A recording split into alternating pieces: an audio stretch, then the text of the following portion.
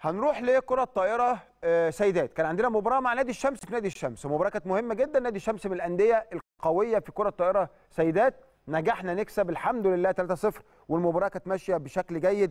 25 12 25 19 و25 17 فرقتنا في الصدارة بدون منازع.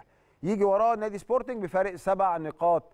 آه، النادي الأهلي فاز بكل مبارياته 3-0 باستثناء مباراة واحدة كانت تقريبا مع نادي الصيد 3-1 الأهلي الماتش الجاي عنده سموحة على صاله الشهداء بإذن الله آه، يوم الجمعة القادم آه، بأهلي الجزيرة. كل التوفيق آه، لفريق كرة الطائرة سيدات وبالمناسبة الفريق ما زال حتى الآن على رقمه السابق اللي هو يعني كسره حتى الآن بيزود عليه وهو أكتر فرقة في العالم. انتصارا لفريق الكرة الطائرة سيدات 73 انتصار.